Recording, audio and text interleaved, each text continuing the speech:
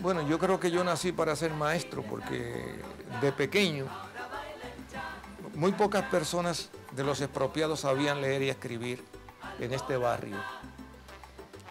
Y ya cuando yo me había formado lo suficientemente como para coger un libro y ponérmelo debajo del brazo, enseñé a leer y a escribir a muchísimos compañeros de estudio en los grados elementales y enseñé también a firmar y a leer y a escribir a muchas de estas personas mayores. Los reunía en el patio de esta casa, utilizaba las paredes de zinc dulce, ese zinc liso, con carbón de palito, para enseñarle a los muchachos las tareas eh, eh, eh, escolares. esa pasión de, de ser maestro, de ser profesor, ya estaba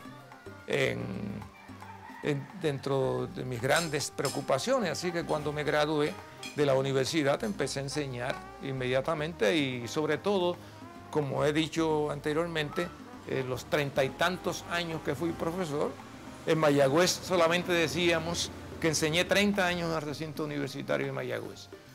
Fui profesor en la Escuela Superior Central, que compartía también materias con la Universidad de, Puerto Rico. En fin, que esa tarea se extendió por 34 años en mi vida como profesor.